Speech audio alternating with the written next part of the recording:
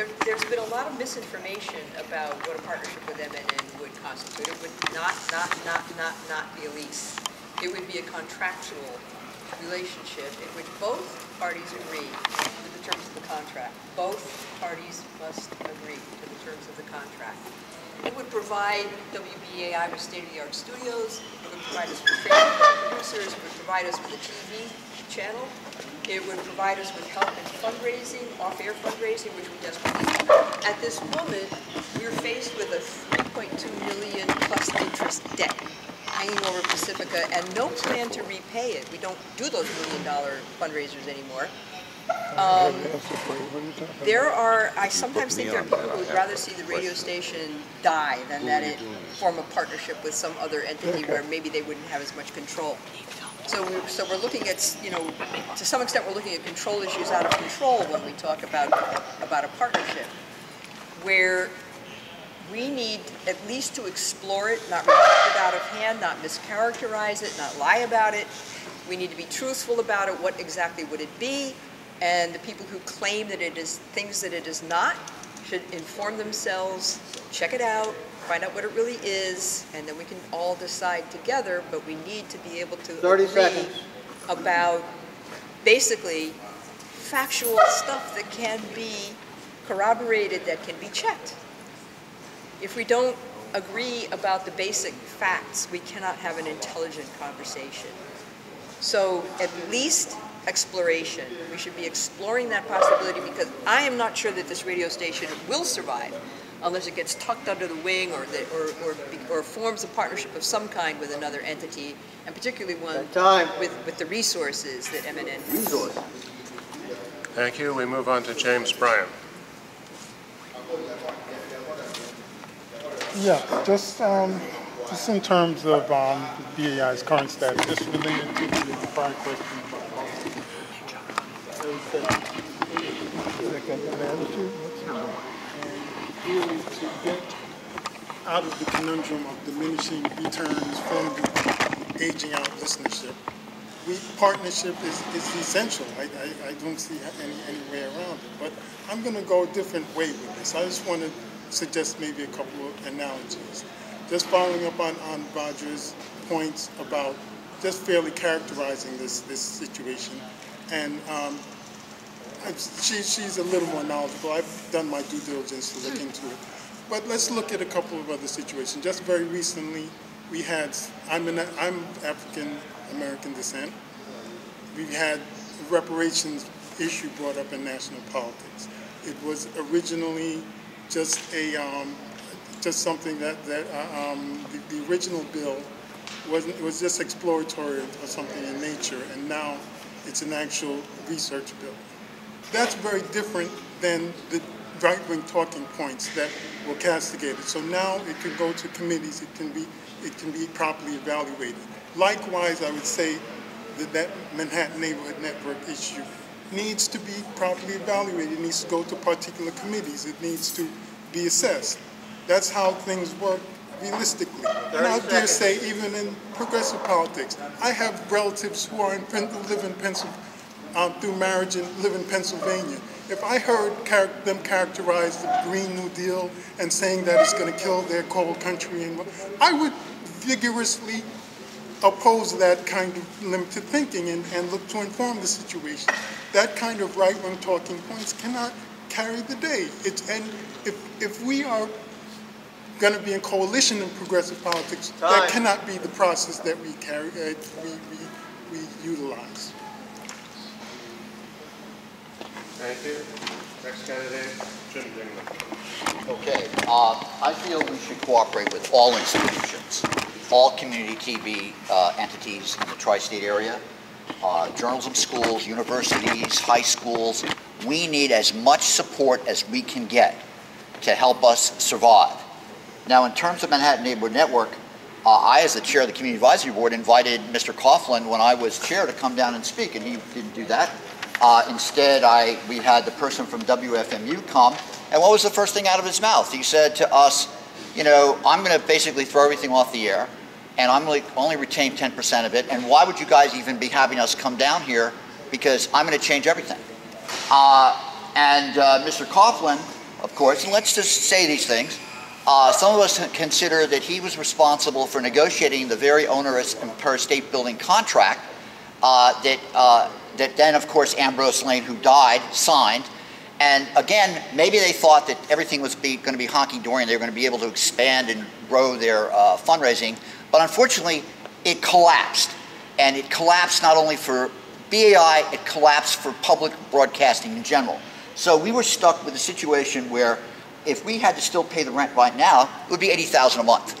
Now the negotiation that we got out of Empire State Building, uh, basically we saved 1.9 million dollars. They wanted to hit us with another 1.9 million on top of the 3.7 million, and we would have had to pay that. 30 seconds. So uh, I think that uh, Manhattan Neighborhood Network, I, yeah, let's go work up there and use their studios. Let's use all the studios right now to help us try to survive. But the issue of moving them over there, I personally think, is basically handing a $50 million asset, which is what WBAI is, into a situation where a public service operating agreement can essentially take control of it down the road, and that's what happens in the majority of the cases that anyone has studied ever since these Time. methods were introduced into public broadcasting. Thank you. Our next candidate is Sophia Albiati. Uh, Those of us on uh, the Red Wave slate are opposed to a sale, swap, or lease of uh, BAI, and we're also opposed uh, to the kind of partnership that feels very much, there is, everything in New York is, boils down to a public-private partnership, unfortunately, and this feels very much like it resembles that, and that's why uh, we have grave concerns about Manhattan Neighborhood Network um, and its, its relationship. It's already been determined by the Supreme Court that it is a private institution where First Amendment protections are not um, applicable um, and censorship questions are a major issue.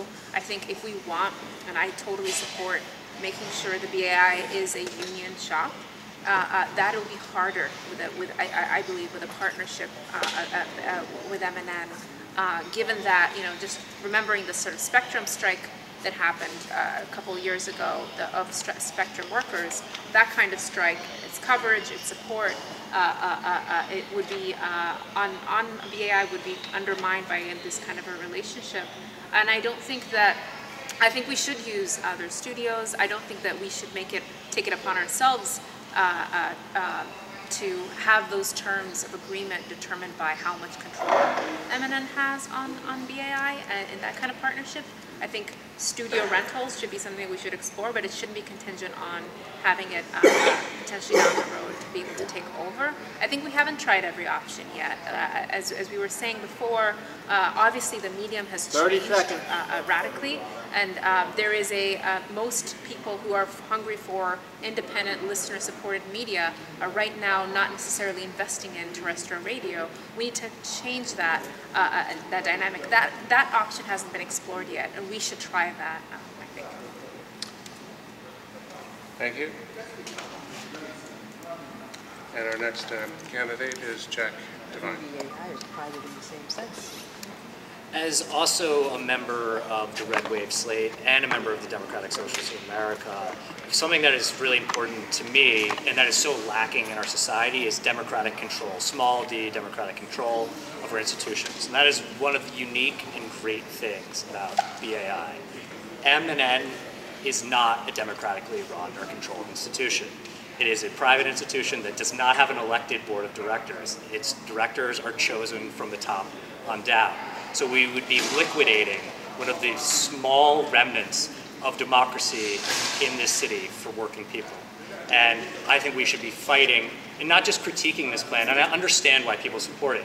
People love this station, they want to survive and last. And this looks like an opportunity to at least inject some um, funds into the institution so it can survive. But it's not worth surviving if you're destroying the character of what makes it unique in the first place. And so I think we need to be thinking about what are the alternatives and not utopian ideas. What is happening in material reality of media? Where is the actual development of these grassroots media worker-owned institutions and working alongside of them? And these institutions are, some of them, some podcasts bring in more money uh, every month than the AI does, and that's just one production. So we coordinate with these groups that are already successful and coordinating with these publishers like Verso that 30 is seconds. growing dramatically and developing a relationship with them that is mutually beneficial. And also, if we look at the small dollar funded political campaigns that have been going on, they've been very successful in bringing in what was recently considered ideas that were beyond the pale into the mainstream. If we and are actually winning races across the country. If we take look at those models how these small dollar models and these small democratic worker run institutions are being uh, funded that's where we can actually save the station and save the original goal of what the station is supposed to be Thank you. Thank you. Our next candidate is Sharon Salam. Well, the reality is, we're not in favor of going to Manhattan Neighborhood Network either. But I want someone around this table to tell me if we don't make some sort of commitment to do something, how are we going to pay our bills? If we owe millions of dollars in debt, and we go to an entity that, where we uh, can set up our own contract, and determine the time, the this, the that, and the other. It's like a, a business deal.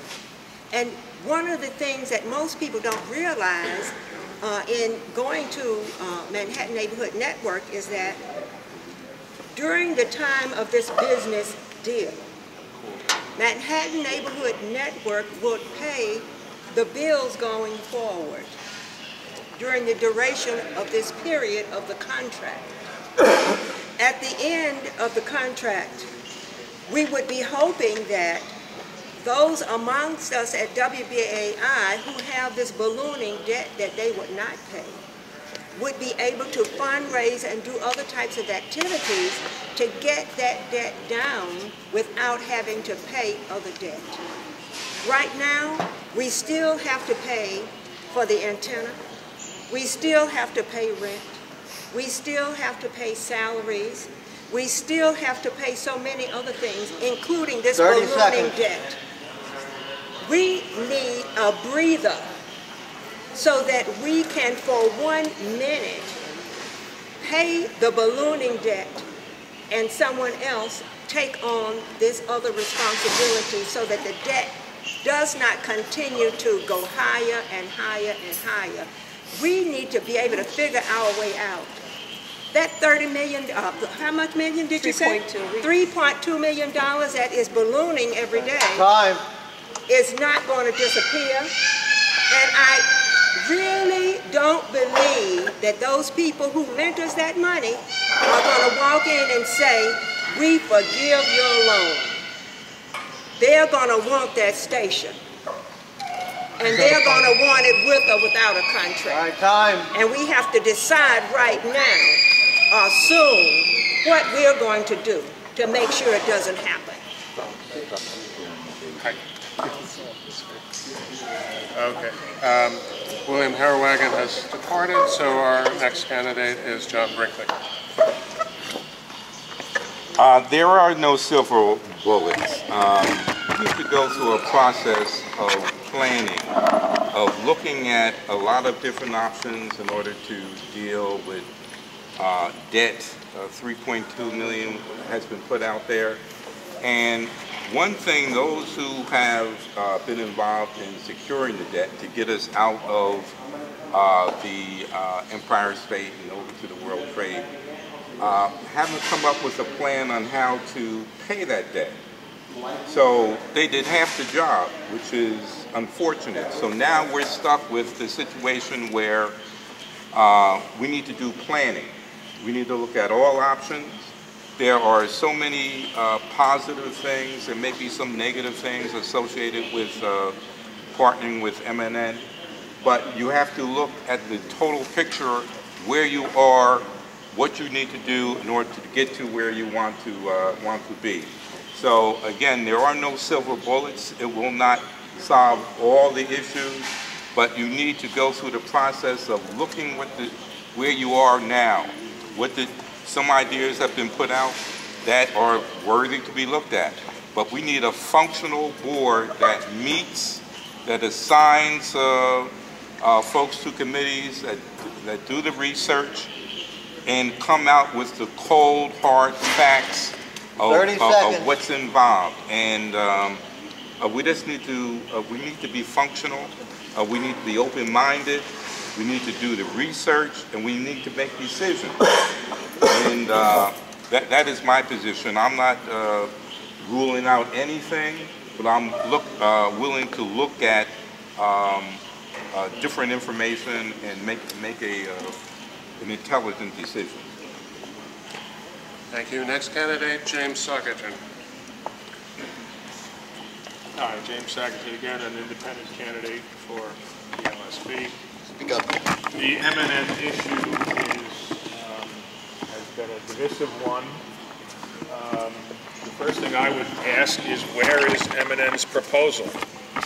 The suggestion that we partner with MNN is a totally amorphous thing. It can be shaped and, and formed to supply answers to every question and to please every person. But in fact, we have no actual proposal from MNN. There was a proposal some years ago. We don't have a current proposal from MNN, so we don't even know what's being offered or what's being discussed. Dan Coughlin, in two public forums, has said that if he takes over WBAI through a public service operating agreement, which is what it would be, he would totally control the content of our air. That may mean that some of the people who are currently on the air would have, would be able to maintain their programs. Some of the people who were uh, members of his group when he was the executive director of Pacifica, um, who think that he's their friend and that he would maintain their programming. Uh, that may or may not be true. He's going to take over our content. In other words, WBAI will disappear. The public service operating agreement lasts typically for five to seven years. What's going to happen to our audience in that time period? Our audience will 30 disappear. seconds. Our audience will be gone. So if you go into one of these agreements, it's essentially goodbye WBAI, hello, a new thing, which, as has been pointed out, is allied with the most conservative side of the Supreme Court, Judge Kavanaugh and others who sided with MNN in their Supreme Court case, declaring them to be a private entity rather than a public entity created by the government of New York. Uh, it's, it, it just could be fraught with difficulty. Thanks for taking Our questions from the public. our I'm last leaving. candidate- Stop, please. Bye, Mario. I'm leaving, and I'm not coming back, Excuse me, you're interrupting. and I'm not coming back to any more of these. Please leave. Please leave. I told you I'm leaving. I, you don't, I don't need your I need, I permission. need quiet so that we can. I, I need to finish. There's only five public, people from the public here. We don't know how long you're going with questions. When are we going, till six o'clock? When are you gonna take public comment? That's why the station's in trouble. Thank you, Mario. Our last candidate answering this is Jack Thomas. Everybody take a deep breath. To spend a moment or two just collecting your own thoughts. I don't like when other people like kind of walk in my mind their dirty feet. Mario called me up a lot of times, tried to tell me all sorts of things about the radio station, came to many CAB meetings, and unfortunately, that's the problem we have in this whole country and this whole world. Thank you.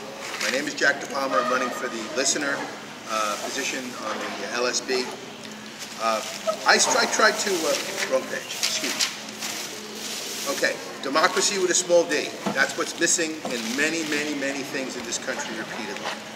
When I first got involved with listening to Pacifica Waves, it was Summer Reese who actually was taken out of the executive director position. I felt that she deserved due process. She was asking for audits. She didn't get due process and she didn't keep her job. As you said, uh, Jack, uh, public-private partnerships lead to real problems, especially for the people with the least resources, because we'll be dependent upon them to write the contract. Cable television, MNN, Democracy Now! are private entities outside the scope of what we control. Small democracy D. Uh, I'm reading an excellent book about unionism, uh, the uh, history of uh, the United States in 10 strikes, and they mention the Wobblies. The Wobblies had a problem because every time they were trying to speak the truth, free speech, they were removed They were shot in the back. They were lynched. They were shut down. And the Wobblies believe that there should be seconds. egalitarian, meaning black, white, ethnic, religious, equality on the job. In the unions, of course. Not all the unions believe that. Any relationship between disequal players will become harmful to the less player. So we have to be very aware about how we can buddy up with universities, booksellers, book writers, community people, local politicians. Get them on our air. Let's listen to what they have to say, and at the end of the day, you decide what you want to do. Thank you. All right. Um, Do our candidates have stamina for a question about technology? All right. If if so, um, Good Question, how many more questions do you have? I have lots of questions, but I think we're running out of time. Yeah, we I are. ask, do you have stamina for a question on technology? We don't I have have that much uh, stamina. stamina for a question from the public. Yeah, let's do Do you have a question for, um, um, we're, um, no, we're not doing a question for the public, Why not? Why not? because we have some questions that are valuable that you Who ask. developed these questions? There's a whole stack of them to go over there. Who developed the questions? The questions were developed by the National Election Supervisor two days. So it comes from the NES. And then there are other questions that, uh, that everyone's familiar with those questions, and there are other additional questions that were done. Uh, so. Passive voice by By, by, I did them and other people did them. In fact, I asked people to contribute. And nobody did actually. nobody actually, con- I asked the LSB to contribute. Better come into a meeting and Well, 'cause complain you were in your bubble. No, I'm not, I Uh, wouldn't say my bubble. Well, look at here, Uh, we, we Okay. said we're a community uh, Those who would like to participate, I will move said on to We're the a next question. uh, You don't, you don't we have have community here. If you, Why if you- not if deal you don't with the folks if you, who are if you don't like this question, pose another question to yourself and answer it. But I will ask a question about the. Wait, wait, wait, technology. whoa, whoa, whoa, whoa, whoa. Pose the So- question. Whoa, whoa, whoa, whoa, whoa. You guys We were will- asked. We took a vote. We will And I take, Seems we're not taking a private operators in here that No- are no one- controlling no this one's been process. elected, you don't have Speaking to of private operators, We So- took a vote. this is most No, no, no, no, outrageous. So, All this talk about small d democracy, we took a vote. Yeah. We took a vote to take She questions brought it up and I repeated it. You didn't even We're it. running out of time. so, here is the question for those who have stamina. Yes, I did. As can be, all right, excuse me, as can be seen from the mission statement, WBAI and its sister radio stations were envisioned as terrestrial radio stations at the time the statement was written. Obviously, there's been a lot of technological change since that time. One thing that has happened is there's high definition radio, something that WBAI has not adopted yet, only one of its sister stations has. The more obvious technological changes that have occurred have been with respect to the internet. People talk about the convergence. So what goes on the internet is radio isn't just radio, it's frequently video as well, and then there's text and images. What do you see as the technological future to work towards with respect to WBAI station?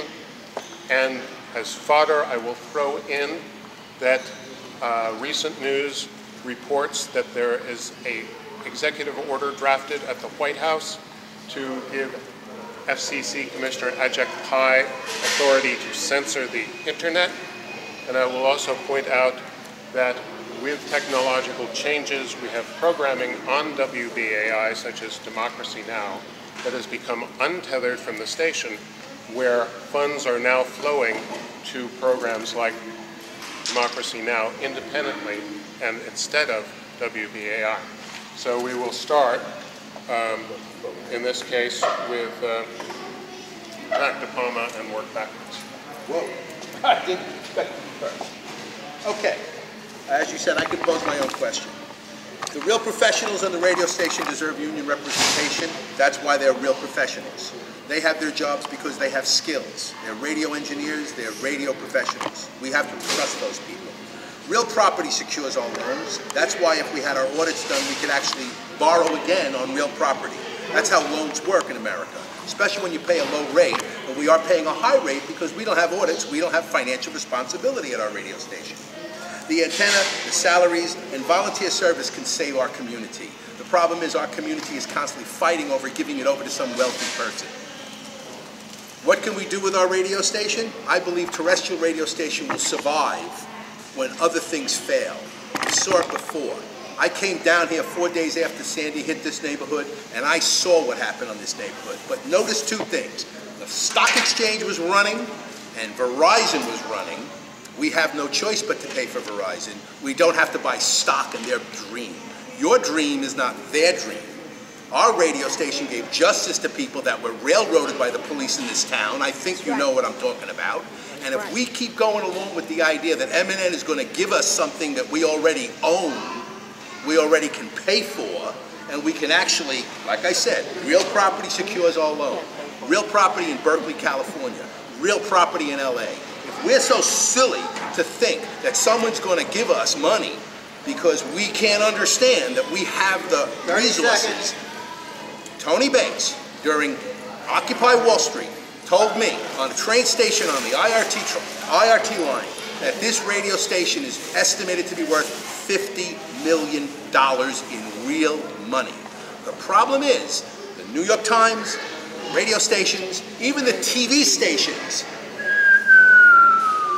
they're going downhill because you need a fantasy leader in a country full of fantasy believers. Time. We got the real stuff. Thank we you. better not lose it. Our next candidate is James Saugerton.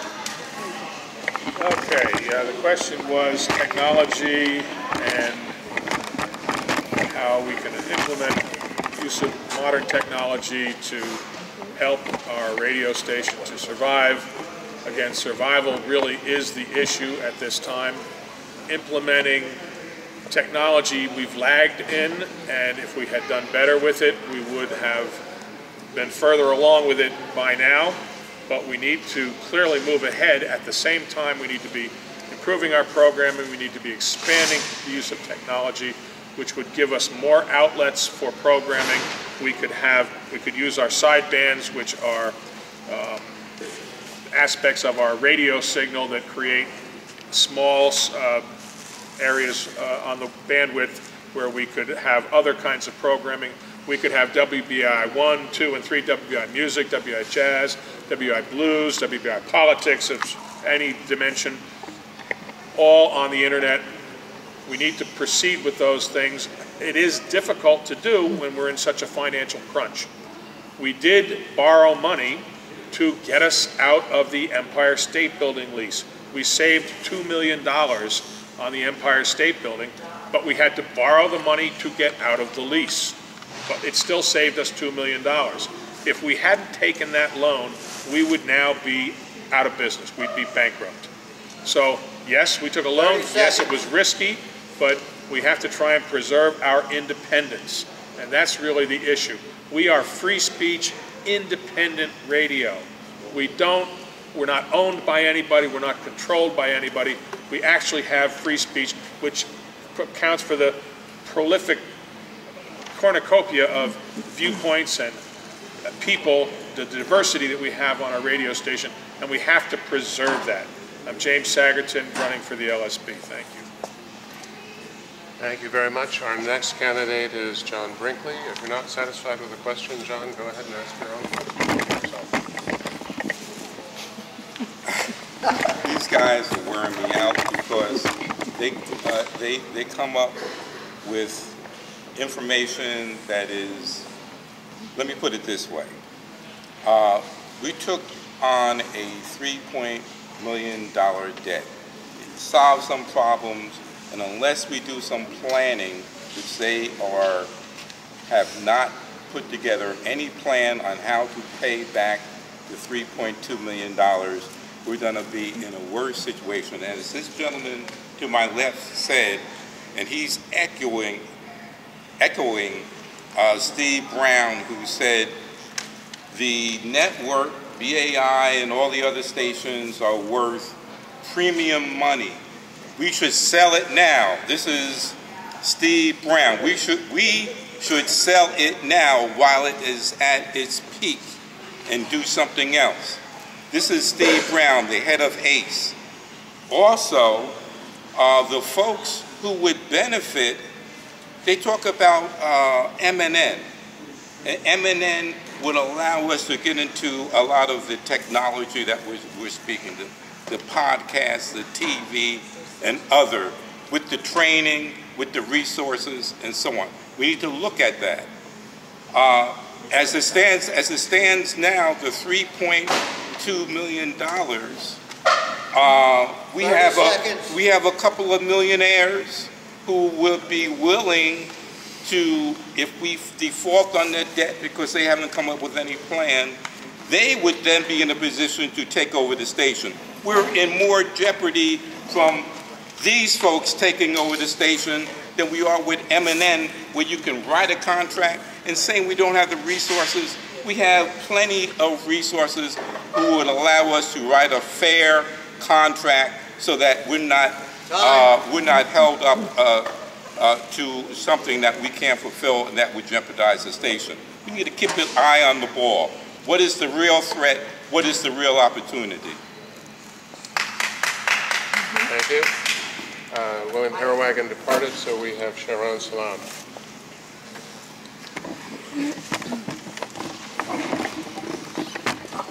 Well, let me tell all of you out there in radio land uh, who's going to be listening to this message. I am not a mechanical person who knows all these fancy stuff. All I know is how to receive and respond to messages that I get. So you're the wrong person to ask when you're talking about technology.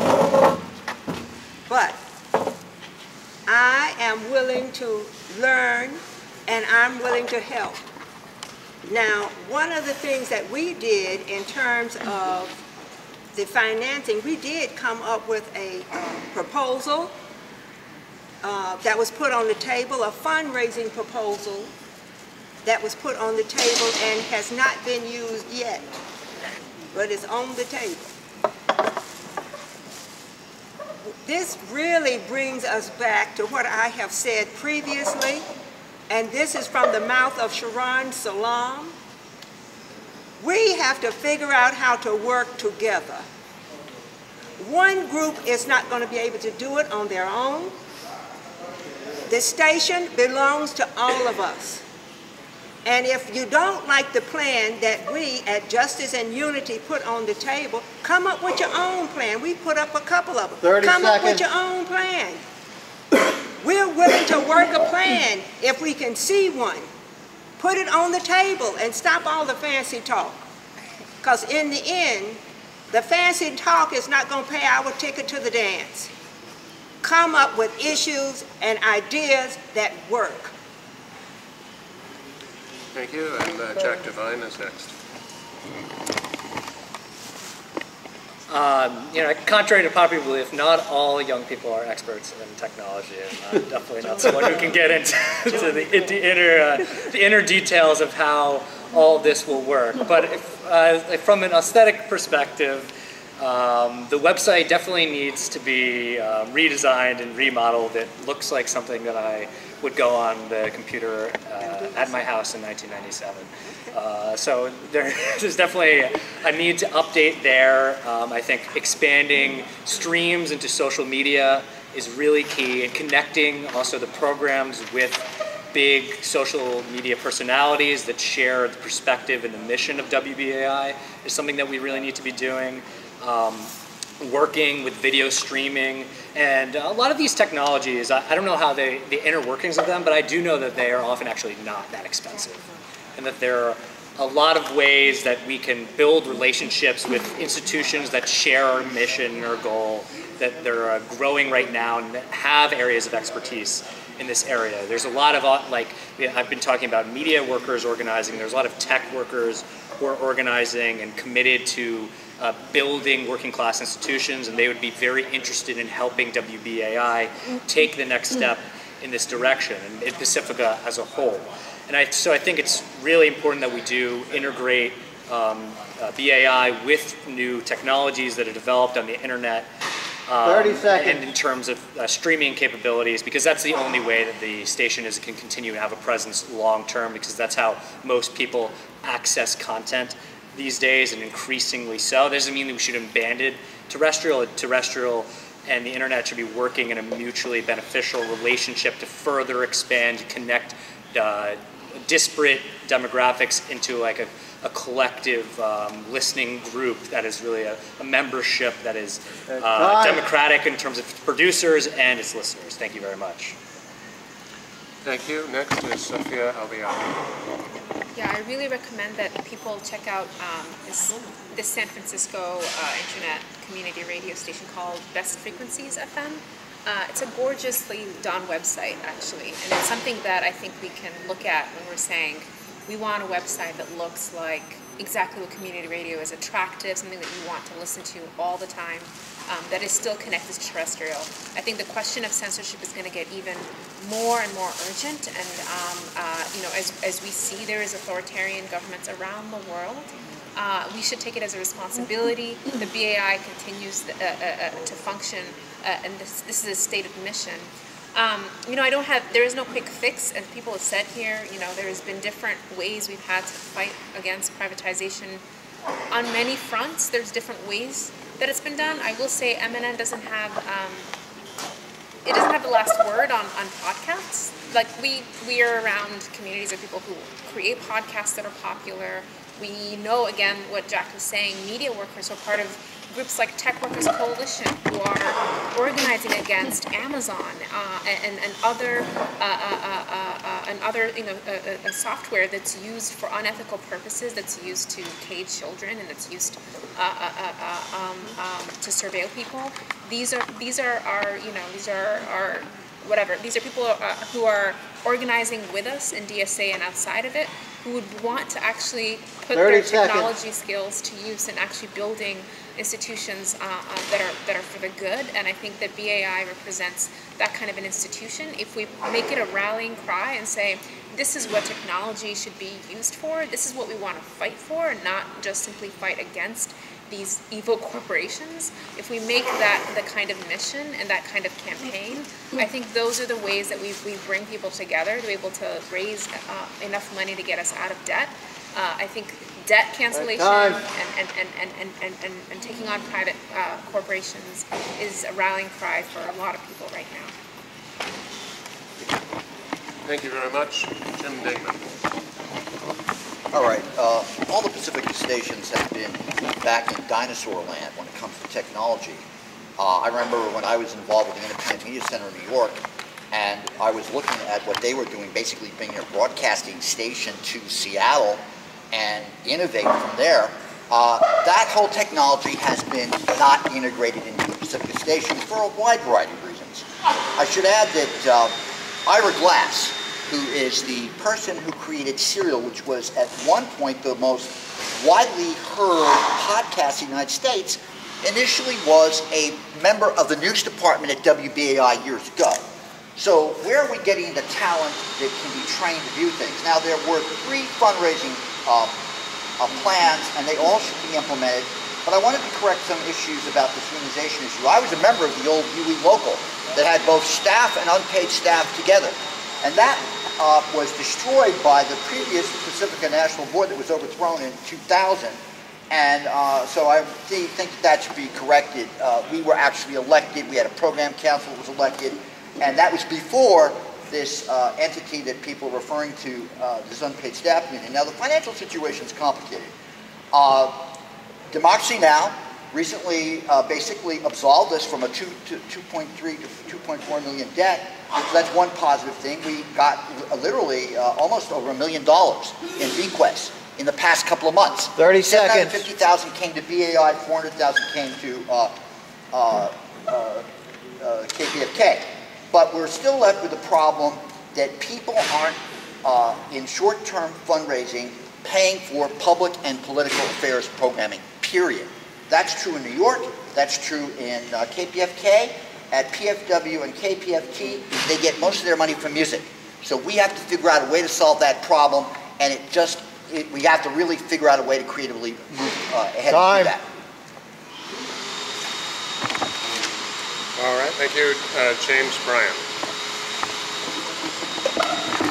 Yes, um, so it's on the matter of, of technology in general, and then specifically in communications, the, the devil is in the details of it. And then the devil usually that we're dealing with is, uh, not, always, but many times is the FCC. Currently, of course, led by um, the Orange Man's choice. Um, honestly, he was put on the board by the prior president. But uh, well, um, my, my point is that the, the FCC, when you, the, the Communications Act should be a corollary to this, to, to, to uh, um, Pacifica's mission. Because it's an elegant statement, it's a very elegant um, act, just very short in its, in its wording. And it basically establishes the principle that uh, companies making enormous profits have an obligation to compensate the public for the use of, of, of, of their resources. It was very simple in radio days, terrestrial air. It's, it's for most people. I mean, um, some some folks can understand the environment is on fire, but you know, they, it's just too abstract for them. But it's our public airwaves. They they pay they pay rent for it. Very, it's it's becomes very difficult in other areas. So, for instance, right now there's a petition from this FCC to redefine community franchises, community access channels, including BRIC Arts, which everyone here decided to sit down and use their air. And now there's reactionary words going around that will endanger all of those franchises. That's unacceptable. We need to be able to advance tangible policies and issues and discuss them, not have Fox News talking points knocking around here in, in, in, in, the, in the form of debate. Time. And, and, and whatever on forums that, that are fashioned for that purpose. Thank you. Roger Kilgour. Thank you. Uh, Obviously, WBI needs to move forward technologically, but we don't have the funds. We barely have been able to build out a new studio. I don't even know if that's completed yet. But there was a specific fundraising to build out a new studio with ordinary microphones, board, CD players, whatever else we need in a studio. We can barely do that. So this is to some extent, even talking about all the things we could do with technologies is, uh, uh, it's, it's sad, actually. And, and I think one of the things we really, we really need to face reality. The reality is that we are faced with equally unappetizing possibilities, or one more, whichever is worse, right? It's not a question of there's a happy ending and there's a tragic ending. I'm not particularly in favor of forming a partnership with MNN, but I'm even less in favor of losing the radio station. That debt could be the end of WBAI. It could be the end of Pacifica. Okay? So we have a tragedy and we have another tragedy. We have a choice of tragedies. We don't have a choice between a tragedy and a happy ending. And we have to be smart about the choice that we make. We have to be really smart. We have to not make it seconds. a matter of uh, loyalty to a group that has a particular position. We have to be smart. We have to look at all of the possibilities. And it's, it's just as John said, there's, there's no silver bullet. And we have to keep our eye on the ball. We have to look at the reality. And the reality of the situation is if we don't form a partnership with MNN or some other group, that will be the happy ending. It will not be the happy ending. Time. It could be the worst ending. So we need to really be smart about our possibilities. Thank you. Next, David Anderson. Um, I think the new technology question is a very interesting one because it touches the question of uh, transparency, of democracy, of openness, of uh, uh, losing control, and so on and so forth. And I, I think it, it's, it's a, a transition uh, where we have problems, and I say we as, as the general public, because uh, we like things under a certain type of things, and we like them the way they were before.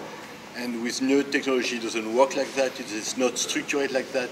It doesn't fly. Um, so we cannot stop people and to say whatever they have to say, or we can difficulty to uh, to uh, control the discussion in one way or another. So I think uh, that's where the new technology, because the price is it's almost free in some ways uh, to to develop new technology. The, the problem is how we can organize and be a, a, a radio station at large and be able to be open to new technology and at the same way uh, um, keeping the direction and uh, the tone we want without being taken over by uh, uh, other entities that we are not interested on or by uh, having uh, discussion that we are not interested. So I think the, so how can we 30 do it? I think it's uh, it's it's uh, go beyond a little bit the structuration of this, the having to discuss how BAI is organized and, and how it's developed and what is uh, the vision of the future because I don't think it can be avoided. I just think it has to be done and, and, and he has to, he has to be serious about it. So um, that's it. Thank you very much. Um, Now, we can easily cut it, uh, bring it to a close right here. It's uh, about 4:13 Oh, let's do that. uh, at the moment. Um, On the other hand, I can, I do have another question if you want to do, take one more. Um, We would stay if the audience, uh, those people who pay for us to have the station, who pay their premiums, that, who are our listeners, could ask the question. Sharon, that's a great idea, and I wish you had responded when we sent out an email about that. So Okay, did thank you so hear what much. I just said? I sent it out to everybody. Okay, no, did I you did. hear what I said? I heard what you am said. not I heard what a you said. computer Yeah, and I'm not a computer either. It was on the air repeatedly, that this would occur today. It was on the air repeatedly yeah. that this would be Right, a... but, but that's, that's, uh, but, you know, All were invited. yeah, No, right. someone told me about it, Well, that's why I question- came. All right. I I can, I know Mar- Marco's question was, do you believe in global warming uh, as as a man uh, There's Well, Mark. here's Proposed by people down here. mankind. Uh, All right, Do you all have any questions? But I think it might There are not be people here valuable. with questions. There's gotta somebody go. with a, what? No. All Oh, right, you gotta go, I gotta go too. Let's just cut this short. If you're not gonna let, the- if you're not gonna let, Oh, you have a question for me? Oh, ask it. You ran on, the last time you ran Got for one. office, All right, I'll tell you what. specified Hold on, hold on, wait, wait Hang one on, hang moment. on We're gonna, Wait a second. Is this a question for, Yeah. uh, is this a question for everyone who is a candidate here? no, it's just for her. All right. Uh, Do we want to have a question that only one candidate answers? Who knows, when I, when I answer it, the rest of them might have an answer too. I'll tell you what. No, it's specifically something, Specific, okay, ask your question. I'll tell you what, ask your question, and then I will put out a Everybody asks question, a and question. uh, the Yeah, candidate. everybody has a right And to then we'll try to wrap it up like last, that. the That's last true. time you ran for office, Yes, Who is that? Who are you talking to, please? uh, Salon, Mrs. Salon, yes, that's me. and uh, specified how you and your group has evaluated management. Yes, we have. You never reported a word about what the outcome of that evaluation. We were deeply interested, we were proud of the fact that you did it, and yet we heard absolutely nothing. And by the way, I'm on the cab, Okay. and I would have appreciated having heard something about that. Can you please justify doing that? Yes, I can. All right, so what I'm going to do is I'm going to say, uh, that's a question, and I'll give you a ch- can chance to answer it it. Uh, I'll give you a chance to answer it next, and then we'll go in order. Okay. Uh, But if candidates uh, would like to, they can answer, Oh, yeah, address anybody that answer. question in some way, or I'll give you an alternative question that you can also choose to answer. Okay. So the um, Pacifica mission statement says that in terms of our news content, we should be putting out information that is accurate and objective. Question is, is that currently part of WBA's brand when it comes to programming? should it be? And what should be our brand in terms of building up listenership and listener contribution? Um, and how does that factor in with free speech as an objective of the station? So, for, so uh, uh, we have two questions on, on the table, and uh, Sharon Salam. Okay. Now, to answer your question, when we work on that committee, and when we work on committees like that, where we're dealing with uh, personnel matters, those committees, uh, how should I say, it's, it's almost like we work in secrecy because it is a personnel issue. And we are only supposed to pass that information on to the board. In At the- executive session? Yes, National in board. executive session, to the national, eh, to the board and the national board, in executive session, which we did. And it is on them to move the issue forward, to make decisions as to what it is they're going to do. In the case of what we did on that committee, we passed it on from committee to uh, the board and the national board. When, remember I had mentioned earlier about there was a time period when the people who were in majority stopped coming to meetings? When they came back to the table after the election and they were in the majority, they decided that the evaluation was invalid. So it never saw the light of So, day. so it never saw the light of day other than at the board and at the national board. You know, understand? So then since we There are. was no reason for you to even make the announcement. Oh, yes, made that was a reason, because I was evaluation, on the committee, Because and nothing we came worked of the for matter. Nobody can hear you when you're away from the speaker. We worked for months on that committee. I wasn't the only one. It was a committee of uh, five or six people. We worked diligently on that committee. We, uh, we came up with questions, we came up with all kinds of stuff. We had, uh, it was like a hundred-page report that was submitted regarding the evaluations that was put forward and the suggestions. 30 seconds. Did you So we ask- did our Did job. you ask the opinion of people like us? who, Yes, uh, we did. I did not have. We sent the stuff out, so, but we. You can't be we heard when- have to send stuff out, not through ourselves, because we are just an entity within another entity. We don't have access to the members' records or any of that type of stuff. We have to pass it on so that those people who have access can send it to those people. Like your private information I is not for us. You- You, you understand? I I hope you all understand what I'm saying. All right. Yeah, uh, to that. Those are the rules. David Oh. Anderson is next. Oh, I'm going to choose uh, your question because I have no. I've, I've no. Can you repeat your question? I said that the mission statement uh, Yeah. uh, calls for news content to be accurate and objective, and how does that fit in with the branding of WBAI as a station? Is it reflective of what, uh, our current branding? How should we be branding ourselves, and how does that fit in with uh, free speech as an objective?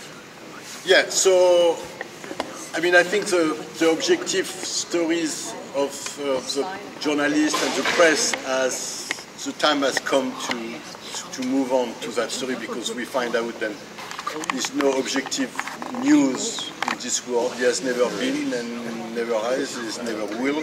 Uh, everybody has a point of view and develops this news from that point of view. History is made from a certain point of view, and for the last thousand of years, we are looking at history through violence, and, and that's how we develop uh, history, and we want to promote violence, so we develop an history of violence, where human being has been non-violent for uh, most of the history, and he has been non-violent at the scale of uh, three by four.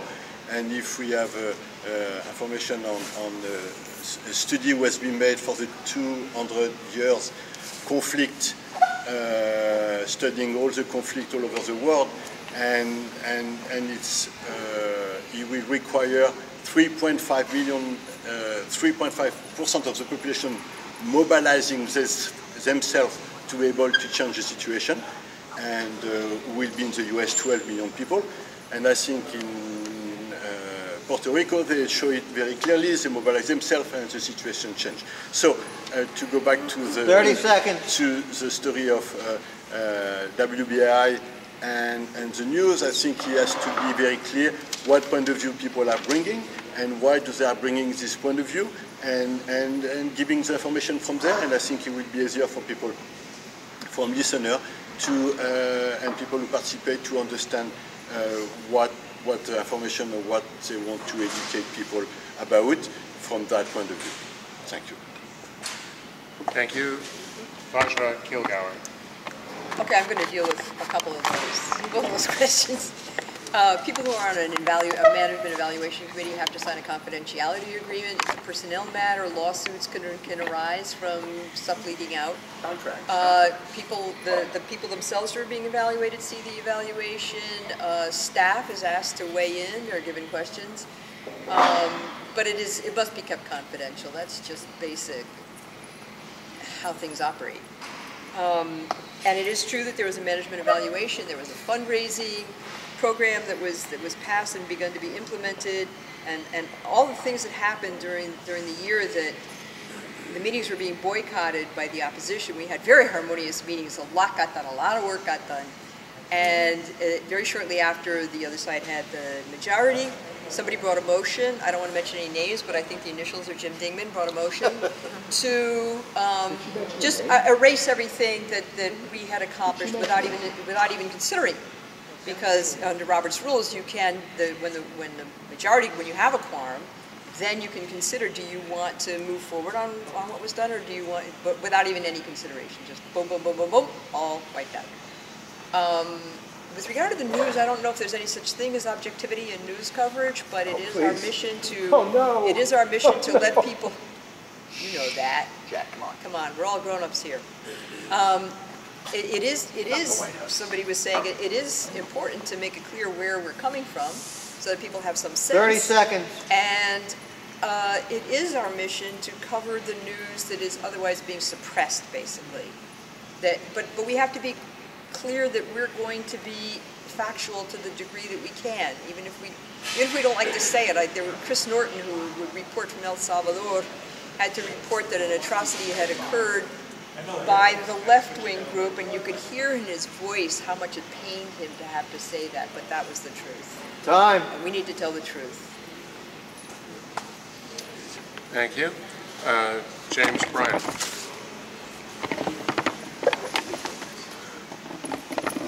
Yeah, so just speaking to the um, notion of um, dealing with objectivity in, in um, I I also um, subscribe uh, the time a little bit with Roger again um, that it's really a matter of many times BAI is speaking for interests and popula- and um, vulnerable populations that will have no other voice. So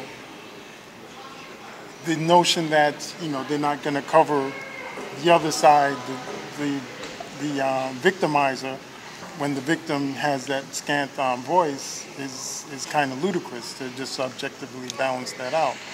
But I think the um, technology question comes into play as well again here. The question is how how will we multiply those channels that we can get information out on? Because and when when many of us, you know, had nice um, dark dark hair and um, you know maybe you know straighter backs, you could just go up and down the radio dial and get various perspectives and get a fuller understanding of issues. Those voices are not available generally outside of it's one corporate voice after the other on the radio dial.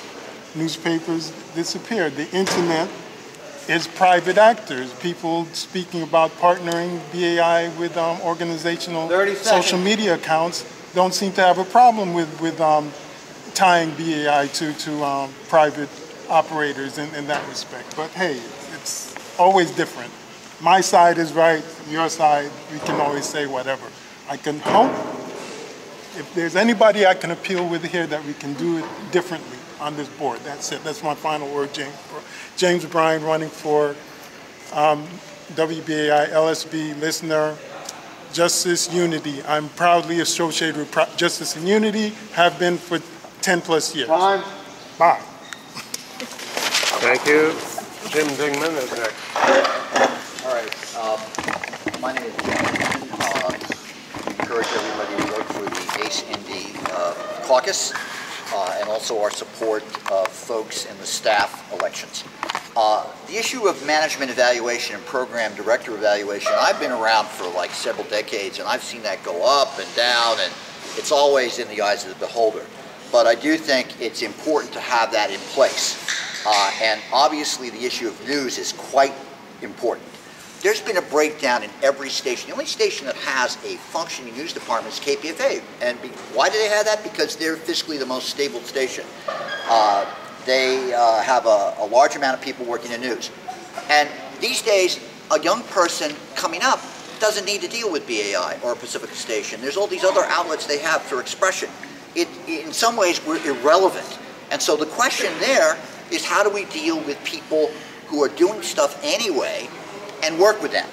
Uh, objective news, I don't know, you know, objective news, that's, you know, it's, it's, it's sort of impossible to have uh, objective news. Uh, although I do think news has to be fact-based. There has to be factual uh, and evidence-based reporting.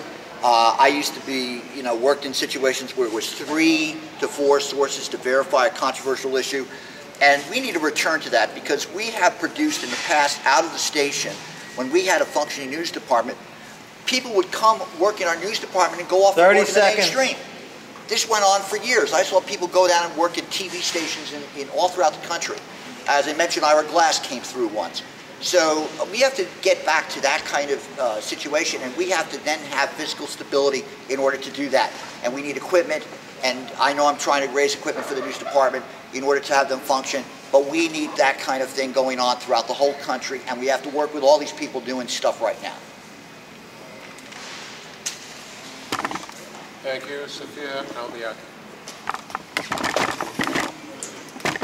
Yeah, um, I think that, uh, the mission of BAI should be, again, fact-based, evidence-based journalism. Um, you're seeing across the landscape right now, more and more freelance journalists who are some of the best, most dedicated people just struggling to get jobs, putting their lives on the line in very dangerous places, um, getting a ton of contempt from the person who's in the White House right now. And you're also seeing newspapers and uh, slowly cutting back on uh, fact-checking departments that used to be a ton of fact checkers um, there. Uh, uh, the, some of the most trusted news outlets have whole fact-checking departments. Um, and that's what produces legitimacy for an organization. That's what gets you to have people who want to dedicate their time is because they know they're around people that they can trust and that they've worked with. And in my, you know, the, the hope is that we can have that. Uh, uh, uh, we can have some of that uh, uh, uh, be what, what BAI stands for for, for for people in the public eye. That people recognize that as, a, as part of the, the historic mission and an ongoing part of it, um, its, its work. Um, and I think free speech is really, again, defending free speech from corporate influence, the ability to fire somebody for saying the wrong things and censor them, and from government influence as well, the ability to, again, censor somebody, make them lose their job, spy on them, threaten them, blackmail them, entrap them, the whole nine yards. Um, that's what free speech is about. That, that means also that, you know, I don't think BAI should tolerate 30 seconds. Nazis, for example, on the station. That's just no free speech for, Here, for, here. for fascists who advocate genocide. That's not what we mean by free speech. And I think that should be the continued um, mission of, uh, of the station uh, going forward. And uh, vote for me, Sophia Beatty. I'm on the Red Wave slate. Thank you. And now Jack Devine. Uh, largely echoing a lot of what Sophia just said. Um, I think a, the and really what everyone is saying. Objectivity is something that's really impossible uh, to come to. It's the reality is that we live in a world that are shaped by human beings and power structures, and what is objective normally comes from like the root base of who is controlling things at a particular situation. Now, on the other hand, there are um, things that are clearly lies, and I think lies that are often used to sell um, either for profit or for the benefit of uh, particular people in power. And that is what we should be avoiding at BAI. I think it, um, I'm not going to name anything specifically, but there are, I think, certain programs on BAI that damage the overall credibility of the radio station to present the news in a seemingly evidence-based, fact-based manner, to be a trustworthy source for working class New Yorkers. And that's what WBI should be, because if you go to the corporate media, you're not going to be hearing the stories from marginalized communities, from working class people. They are peddling corporate propaganda. And then you have the even more extreme version, like something like Fox News, which is peddling not just corporate propaganda, but fascist propaganda. And I think we have to be very clear that we will not allow fascists and Nazis on the air to push their nonsense that is not seconds. evidence-based, not fact-based. So I think we do need a, a commitment to a news department, a commitment to evidence-based, fact-based, um, political and social commentary. And I think as a, a primarily left group that I think the evidence and facts are on our side. If you believe in the humanity of every single person and not the social Darwinistic perspective that is pushed by corporate media and by right-wing media. So I think we need to be pushing that perspective that radical democracy and working people, their voices need to be centered in the production and dissemination of news. Thank you. And James Sagerton is next. Hi, James Sagerton, again, independent candidate for the LSB. Um, I pretty much want to agree with just about everything everyone just said. Um, And I'm just going to read this last paragraph of the Pacifica mission statement to show how what people have been saying agrees with what our mission is supposed to be.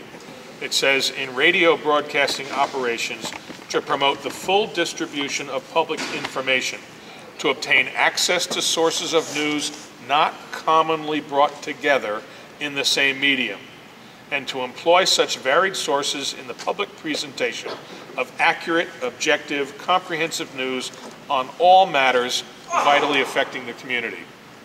That's basically what everybody has just been saying. And I couldn't agree with it more. It's what attracted me to Pacifica. We have this unfortunate situation where two different factions of people have pretty much been turning each other into the other. And it's unfortunate. And I just want to take a, a brief moment to say something personal uh, to Vajra. Recently, my aunt passed away, and I had a little breakdown on the air when we were doing a report to the listener, which I didn't expect. I actually cried a little bit. And Vajra came to me afterwards with some very sincere, kind words about her own loss and her own life. And 30 seconds. that's why I, I know that the people who are on the other side are not, it's not that one side or the other is lying or the other side is telling the truth. We have different ways of seeing it, and to our, to our discredit, we turn each other into the other, and we fail to work together. So I, I hope we can go forward. As Vajra said, without each other, we can't do this. We, if we, right now, we're barely making it. If we divide ourselves up and stop supporting the radio station on either, on anyone's part, we'll fail. Thank you. We have one last candidate to answer this question.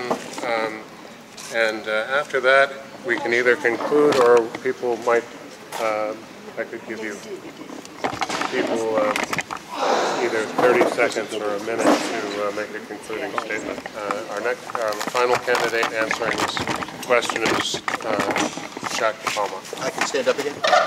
Thank you. Thank you very much. Uh, Confusion is very simple. It's change the context confusion. What we have is a failure of objectivity, not the model of reporting fact.